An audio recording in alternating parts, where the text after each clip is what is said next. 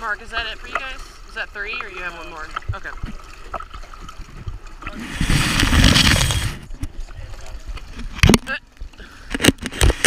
Alright, I mean, as long as I can work with it.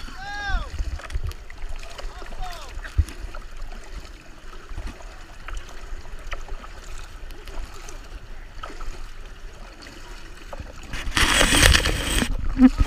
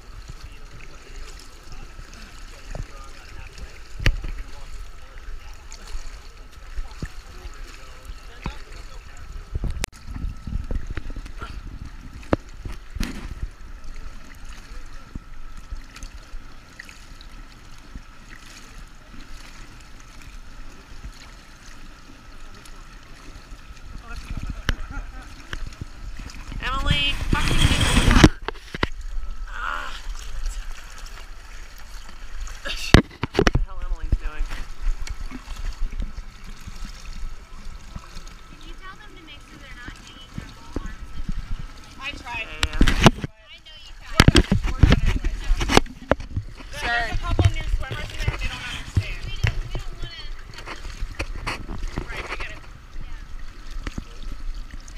No hanging on the lane lines. Alright, get out of the way. Ten seconds apart!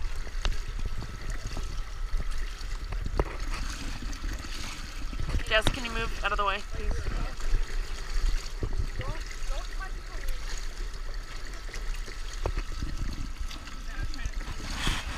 Jonas.